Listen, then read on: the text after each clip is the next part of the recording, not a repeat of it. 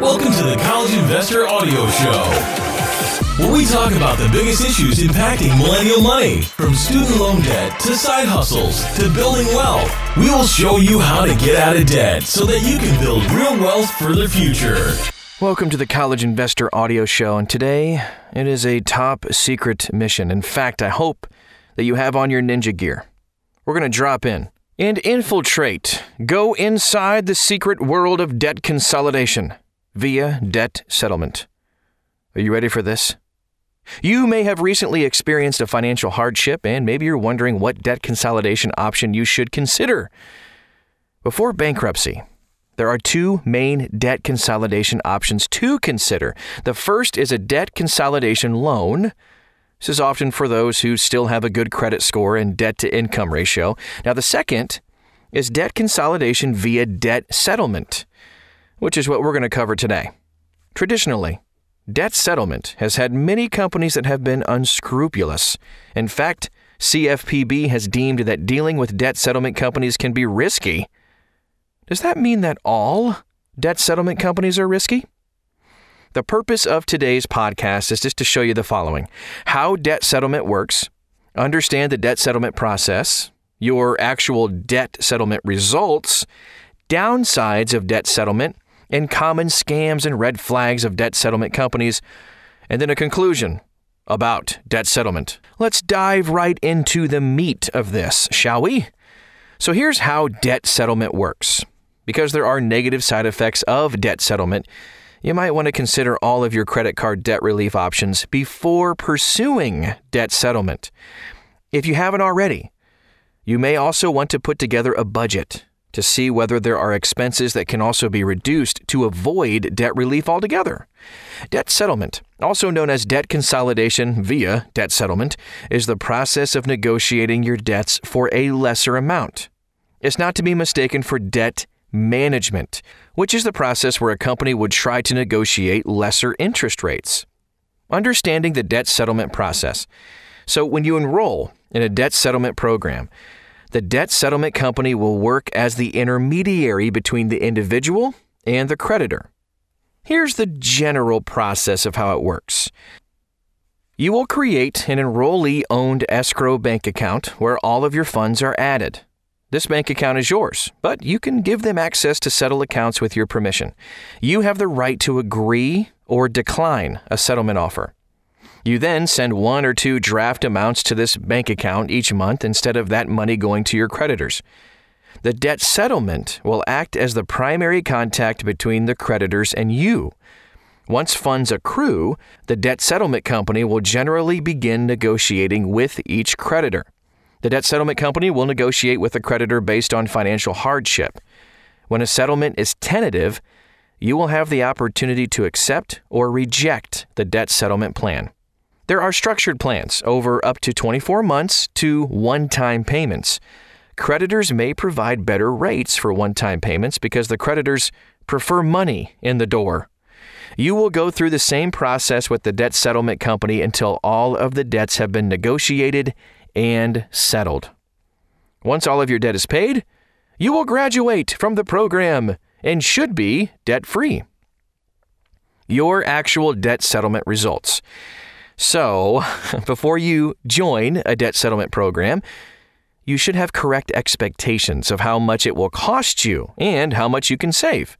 The savings can be significant, but it's also possible that you won't save a fortune. Understanding the costs. Okay, so there are two ways that a debt settlement generally charges for its program one, percentage of enrolled debt, two, percentage of savings. The most common is a percentage of the enrolled debt. A debt settlement program that charges a percentage of savings may look for those individuals who have equity in other assets that will allow them to lump sum all of the settlements. The fee for the percentage of enrolled debt programs often ranges from 15 to 25 percent. In addition, you will often be charged an escrow account fee of 12 to $15 a month. You will also often have the option to get legal coverage in case of a lawsuit that ranges from 10 to $50 per month. This is optional. A debt settlement program should negotiate on debt with a lawsuit So you may consider that before you get the optional legal coverage. In short, you should not need a lawyer to negotiate on debt with a lawsuit, but if you do, you generally would pay in the range between 175 to $300 per hour in legal fees. Rather than go through some numbers and take a look at a couple of scenarios, there are some really cool graphs you can check out. A breakdown of an estimated debt settlement program and what it might look like. You can see it at thecollegeinvestor.com. If you just search for Inside the Secret World of Debt Consolidation, you'll find it. All right, so you might still save some money when comparing your current monthly payments to the estimates that you can see in the graph. It just might be less than originally anticipated. Also, there might be some legal groups that I've seen charge up to 35% of enrolled debt with additional fees. In that scenario, you might want to estimate how much you'll be paying to see whether you save anything at all. So let's move on and see the granular on a specific example. Many debt settlement companies will quote a 50% debt reduction, but it may fail to mention the fees that you will be paying for its services. Oops, did we forget to mention that? All right, anyway, to illustrate this point, let's say you have $20,000 in debt, and the debt settlement company negotiates for $10,000 over 36 months. The debt settlement company charges 25% of the debt enrolled as a fee. You also have to pay a $12.50 escrow account maintenance fee per month. Let's also say you're not tax insolvent, as defined by the IRS. Assuming a 25% income bracket, you only saved $2,050. 20000 in debt minus $10,000 is what the debt settlement negotiation was, minus $5,000 minus $2,500, 25% of forgiven debt, minus $450.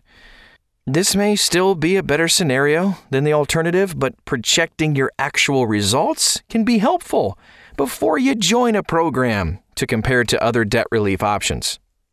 Okay, here are some of the downsides of debt settlement. Tax considerations. We covered the tax considerations in the previous section, but this is an important thing to consider before pursuing debt settlement. If you are tax solvent, then you might receive a 1099-C from the IRS for the forgiven debt. The creditor may submit these canceled debt savings to the IRS when the amount is forgiven is greater than 600 bucks.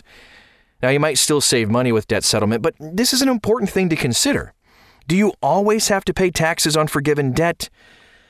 Not necessarily.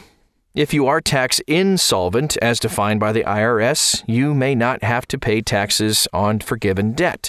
But this is a better question for a tax advisor for sure. Credit score implications. Man, yeah. The credit score may undoubtedly take a tumble. How much, you might ask? It often depends on your starting point.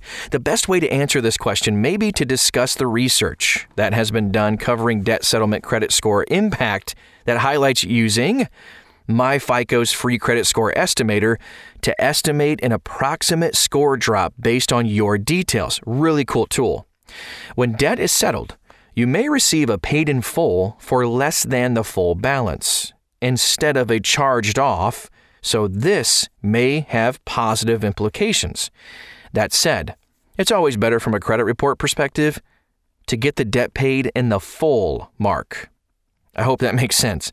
Lawsuit likelihood. There, uh, the chances of a lawsuit probably one of the most important factors to consider before pursuing debt settlement. But it's often not spoken about before starting the program.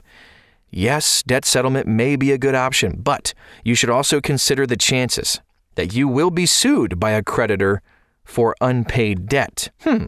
Which begs the question how do you know which creditor will sue? It can be hard to know before you enter a debt settlement program. The best tool that I have found Ascend's free debt settlement calculator. Ascend, A S C E N D, debt settlement calculator. It estimates the lawsuit likelihood by your creditors, highlights the fees, pros, and cons, and gives more information about debt settlement. It's free, by the way, in case I forgot to mention that. Knowing whether your creditors will sue is really important to consider.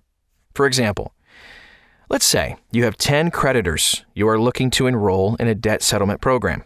If one of the 10 has a high likelihood of a lawsuit, then it may be okay to enroll in a program as the debt settlement company should prioritize that debt. If 9 out of 10 creditors have a high likelihood of a lawsuit, you may want to consider a different debt relief option. What happens when a creditor sues? A debt settlement program will generally still be able to negotiate with the creditor even after a lawsuit, although the percentages are often higher, so the savings might be less. Some debt settlement programs may offer a legal assistance option if you are sued, but you might want to ask how they would handle a lawsuit to see whether you actually need it, as it can be very expensive over the life of the debt settlement program. Take a look at some common scams, maybe some red flags you need to look for with debt settlement companies. Wow, there are a ton of common red flags and scams to consider before pursuing debt consolidation via debt settlement. Let's go through the list of scams and red flags. 1. Amazing reviews only on biased review sites. So, when you search for debt settlement, you may find biased and unbiased review sites. Common unbiased review sites may be Google, because Google doesn't profit based on the reviews. Review sites that are ads on Google may be more likely to be biased. The reason is that debt settlement companies may pay these review sites to rank. You may want to do your due diligence across multiple review sites before choosing a program. Number two, it doesn't do a full analysis of your options. There are other options to debt settlement, such as debt management or even bankruptcy. Some debt settlement salesmen won't clearly define the pros and cons of each of the options and pitch debt settlement as the only option. You may not want to join a debt settlement program if you should be considering bankruptcy. 3. Has pushy sales tactics. Choosing a debt relief option should be an endeavor where you weigh all of the different costs and pros and cons of each of the debt relief options. A pushy salesperson may not be considering your best interests to consider all of your options. 4. Charges upfront fees. Many, many moons ago, debt settlement companies would charge large upfront fees before ever settling debts. These companies would take advantage of people by charging fees and never settling a debt. Thankfully, Dodd Frank put restrictions on upfront fees. Most debt companies will only charge the program fee after a debt is settled. That said, you might want to make sure that whichever company you're choosing follows such fee guidelines.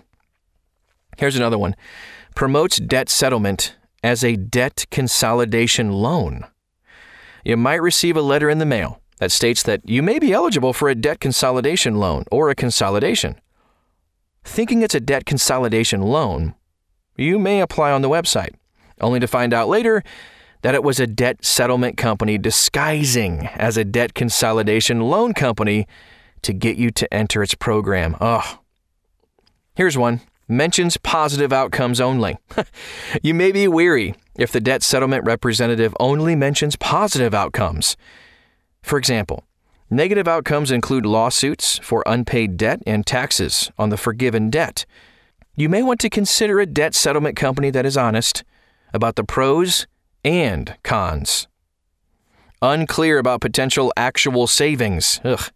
As mentioned before, a debt settlement program may pitch a 50% savings on your debt, but the salesman may forget to mention the costs and fees that you will have to pay to resolve the debt.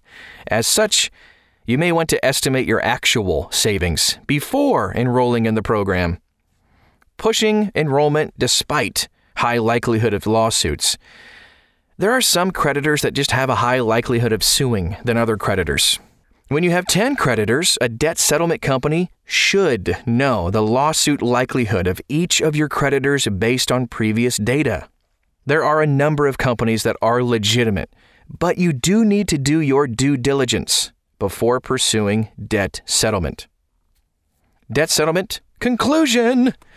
So, pursuing debt settlement may be a good option for you, but it's important to understand all of the pros and cons before making that decision when you're considering an actual firm, It might also be good to check with your state's Attorney General and Consumer Protection Office to see whether the company you are considering has outstanding complaints.